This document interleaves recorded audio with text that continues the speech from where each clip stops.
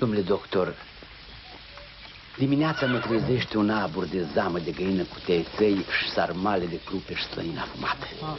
Și mă îndestulez cu două streche de zamă și o altă de sarmale. Cred și eu.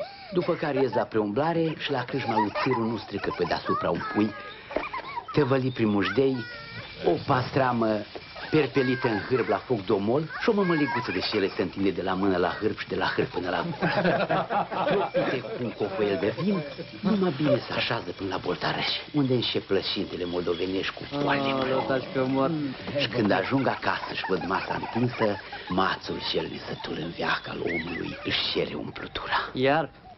Și după un somn de șele popești, ies afară și îi dau folosință și rețetei dumitale.